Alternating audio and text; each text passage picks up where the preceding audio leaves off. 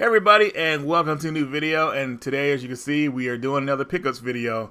I hope you all had a good Memorial Day weekend. Um, this Memorial Day weekend I actually found a new game store. It was a comic book game store but um, they had some pretty decent games in the items there but they were a little bit pricey. Uh, you're seeing the footage here now. I didn't pick up anything from here but I thought I'd include it as in footage. But um, anyways let's get to the games.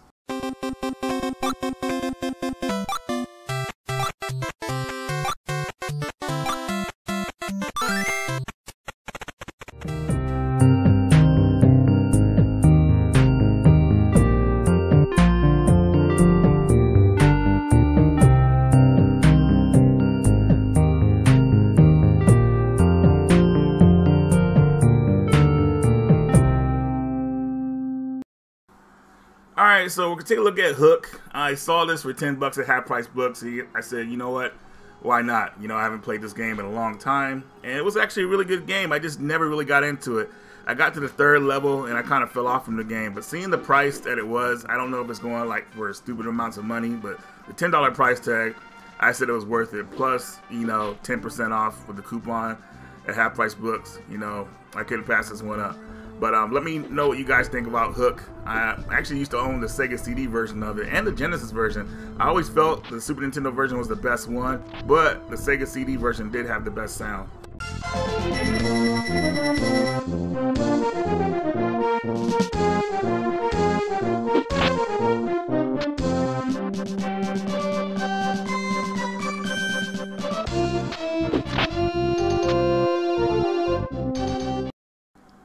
And next up, we have the Super Combo Pack. Uh, this has a game in it called Savage Reign, which I actually played on Neo Geo X for the first time years ago.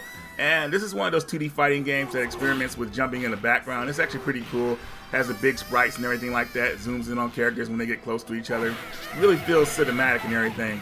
Uh, the game is fun, but still, I haven't found a really good balance with it. So, um, yeah, just going to knowing that it's one of those Neo Geo games that has those hard difficulties where the bosses are like really tough, and everybody's tough. So try to get good at it and learn your moves.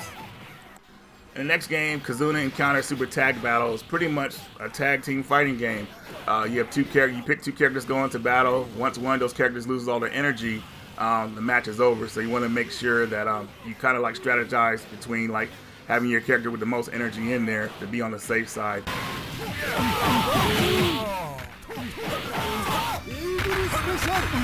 Hey, oh.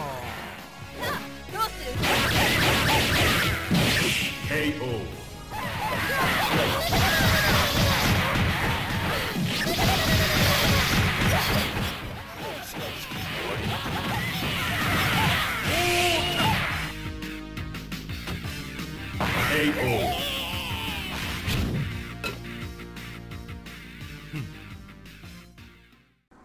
Next up, we have Raiden 4 Mikado Remix, or I don't know if they added, they, dropped the Overkill name to it. I guess they did to this version. But anyways, um, Raiden 4 originally came out on the 360, uh, very cool shoot 'em up. And then it came out on the PS3, and they called it Overkill on that version. They added some extra features. I'm not sure all what they added to this one yet, because I haven't got that far. But the Raiden games are just a lot of fun. A lot of people may disagree with me about Raiden 5. They didn't like the, the story and all the talking.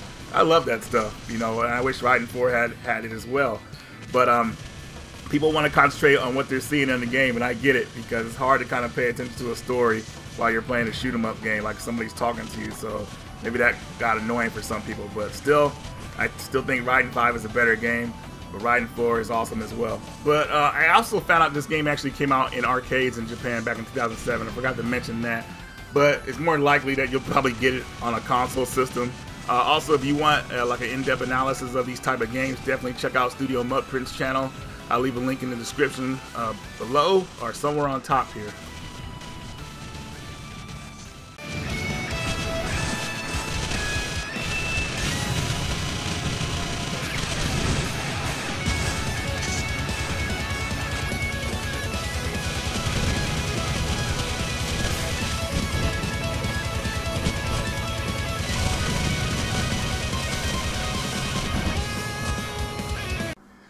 Three games I'm going to talk about briefly. First off, we're going to talk about Dino Strike. This is a rail shooter game. um, that actually is pretty unique. This is up to four players, and it actually has a funny story to it. Uh, Zoo, uh, the company that published this game, was known for like, um, um, not really like well publishing good games, but uh, some games, if you really look at them now, they're actually pretty decent, and I think this is one of them. A four-player co-op game, which is cool, has a decent story to it, well, a funny story to it. And then the next one is Pirates Blast, um, or Pirate Blast, where you pretty much go to an amusement park and um, things are kind of gone awry, so you got to kind of clear things up with a water hose. This one is actually two players, but I think this is a solid game. And last but not least, um, we have Arcade Shooting Gallery, where it's about two kids that go to a, a carnival and they play these different games. But uh, it's a really good rail shooter game. And um, well, I couldn't say really good, but you know, rail shooter games are what they are. I mean, they're kind of a lost art these days, so I wanted to kind of talk about these games briefly. But um, if you like what you're seeing here, you might want to pick these up. X-Men Origins Wolverine Uncaged Edition. I actually traded my buddy Kobe for this. I've been looking for this game for a long time, and it, it was weird because it's one of those games that you know people would think is a bad game because it's a, a, a game based off a movie, but it's actually one of the good ones from what I'm told. Now I haven't got too much into it yet, but I added it to the collection because I thought it had potential. And like from the reviews I'm seeing of it, I think it's actually going to be a pretty solid game. So looking forward to playing this one.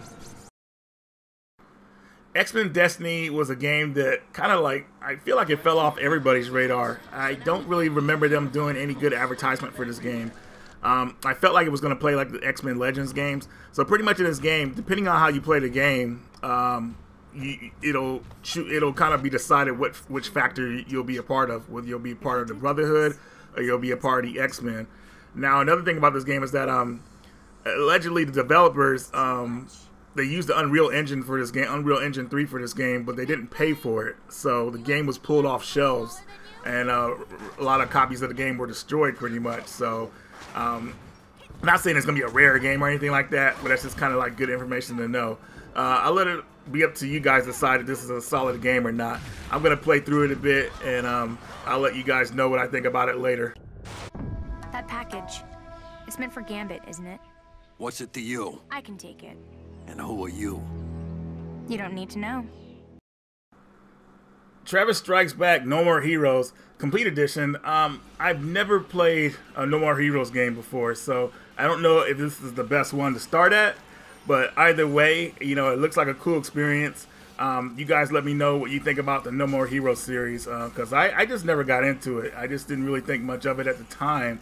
But now I feel like maybe maybe I could dive into this. Maybe it has something good to offer. I don't know. I'll see.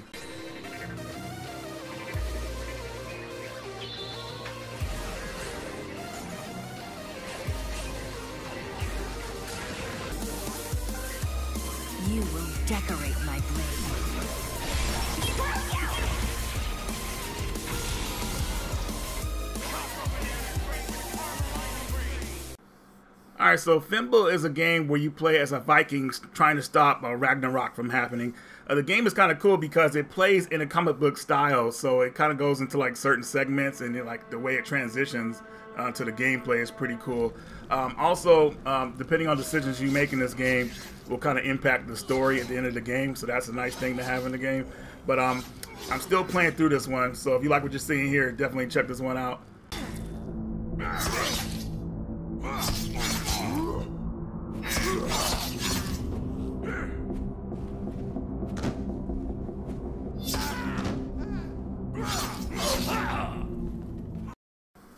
Nitroplus Blasterz is a 2D fighting game that was released on the PS4 in America, but I picked up the PS3 version because I saw it for so cheap. Was, I think it was like five dollars, and I said, you know what, let me go ahead and pick this one up. And um, I think it's a solid fighting game, as you can see here. It takes inspiration from games like Arcana Heart. You guys have played that one, and another one I can't think of right, right now, Aqua Plus something. I don't remember what that game was called. Wait, it was called Aqua Pazza Aqua Plus Dream Match. That's the full title of the game I was trying to mention. But anyways, um, Nitroplus Blasterz is their one of their later releases, and um, it premiered on the PS4. I, the reason I'm bringing it up because I, the PS4 game, I don't know if a lot of people really know about it, and I feel like it's one of those games that'll be sought after in the future. So um, if you like fighting games, 2D fighting games like that, uh, you might want to pick this one up.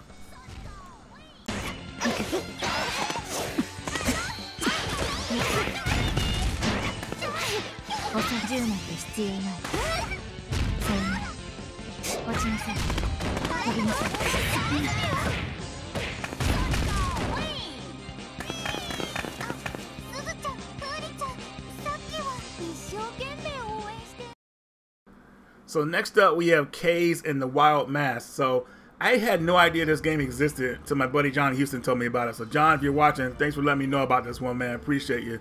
So if you're familiar with playing games like Donkey Kong Country and Klonoa, you'll kind of know what you're getting into here. From the from the get go, I felt like the, the like just the nostalgia from playing Donkey Kong Country with this one. So like when it comes to getting the lettering and stuff like that, spelling Kaze's name out, uh, getting the, the rubies or whatever they are, jewels or something like that. Um, just really felt reminiscent of that game. So, um, you know what I'm going to say. If you like what you're seeing here, you definitely might want to check this one out. I'm having a good time with this one.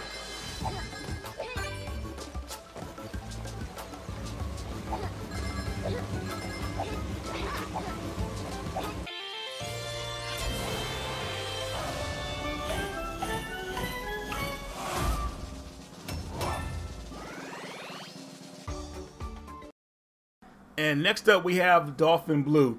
Dolphin Blue is a running gun shooter I've been wanting to play for years, and unfortunately, it was arcade only on this uh, hardware called the Atomiswave. Uh, at the time, I didn't know how to emulate it properly, so I never really messed with it. But somebody decided to port the game to the Dreamcast. Since the Atomiswave hardware and the Dreamcast are hardware are very similar, I believe. I'm not really sure if they're the same or not, but um, they ported this over, and now I'm able to play it easily. Now, this is a running gun shooter, uh, very good looking like some of the Metal Slug games. Probably took a lot of inspiration from those games.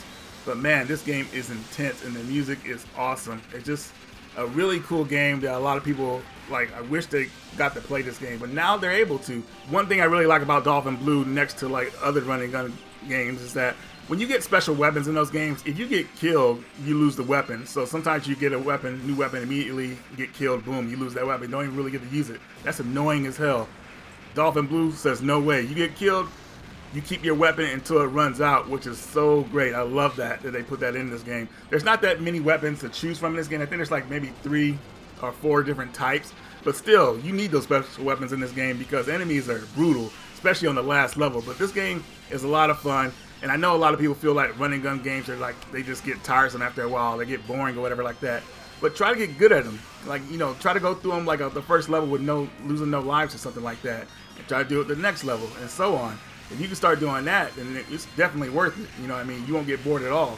But anyways, guys, um, hit your Etsy retailer up to see if you can get a physical copy of this game. You know, or you can just burn a copy for your Dreamcast. It plays immediately, so you don't have to worry about any kind of like a boot disc or anything like that.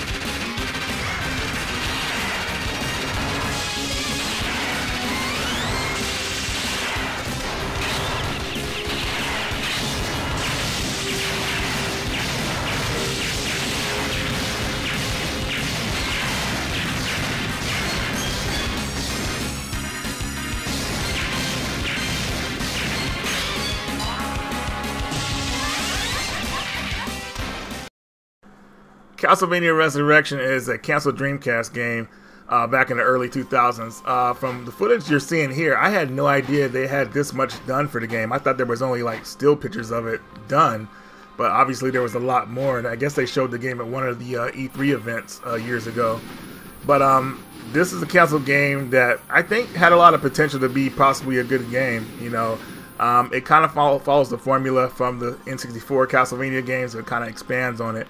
You could play a couple levels that they had, well, not exactly finished. A couple, a couple builds, I would say, uh, that they wanted for the game, but ultimately they canceled it. But it's nice to have something like this uh, to be able to play. Honestly, I, I would have rather them just ported this over to the PS2, but I feel like some of the ideas for this game were actually used in Lament of Innocence.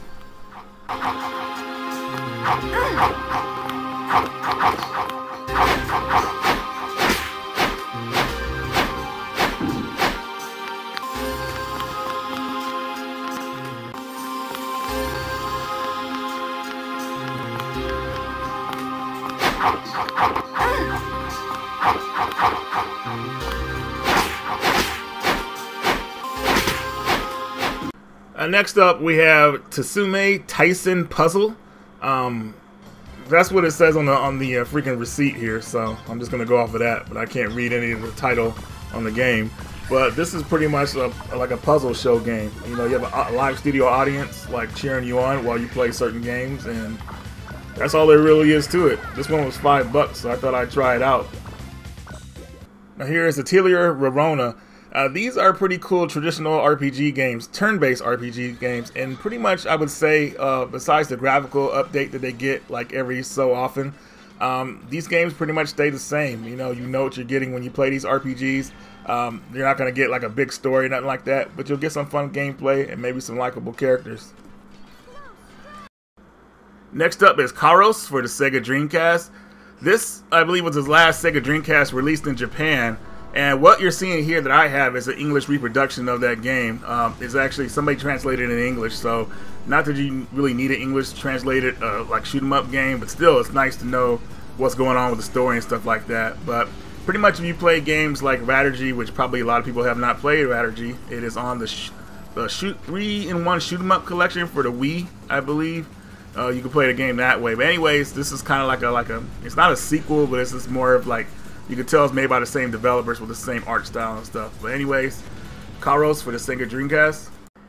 Brave Prove is one of those 2D action RPGs that never got released for the PlayStation in America, but somebody actually did a fan translation of it in English, and I got the reproduction here. Uh, I haven't really played too much of this one yet, but I'm looking forward to it because I've always wanted to play this game throughout the years. And I feel like this one could have got released in America, but thanks to Sony's strict policy about 2D games, they didn't want to release this one over in America. So uh, it's possible that might have been it. Maybe the publisher or the developer just couldn't afford, didn't think there would be any interest in America. But still, either way, happy to finally get this game over here in English. Next up is the Mystic Dragoons. This is the prequel to Legend of Dragoon. No, I'm just kidding, guys. But I never heard this game before, so I was like, dude, this is crazy. And uh, somebody gave this an English translation, so I'm looking forward to playing it. Um, it's, it's kind of funny because I've always felt that the golden era of RPGs was pretty much the PS1 era. So uh, getting a lot of these games translated in English is pretty amazing to me. So I look forward to playing this one, trying it out. Next up is the English translation of Fantastic Night Dreams Cotton for the PS1. Uh, it, this is a shoot 'em up, shoot 'em up, so you you don't really need English text, but you know if you do want to know the story, because this game is somewhat story driven, um, it is nice to have the English text for it, but you don't need it at all. But still very cool to have, and also you guys need to know that um, Cotton Reboot is actually coming out pretty soon here. It should be available for pre-order on Amazon, so you guys should definitely check that one out. Next, we have Henry Hatsworth in the Puzzling Adventure. I was looking for this game for a long time and I had totally forgot about it, but thankfully I found it and I got it for a good deal. So this game pretty much utilizes both DS screens, and uh, it, in one screen you're playing an action adventure game, in the other screen you're playing like a Tetris type game. So depending on what you do on the action adventure screen depends on how well you do on the Tetris screen. It's really cool stuff, very unique. a lot of people don't know that the creator of this game actually made uh, not a sequel, but another game similar to it called Monster Tale, which is actually pretty exclusive to America. It only came out in America, but this is the first game I believe the developer made. Um, I forgot what they're called, but somebody in the comment section will remind us what they're called. Anyways, guys, definitely check both of these games out. Very unique, very cool.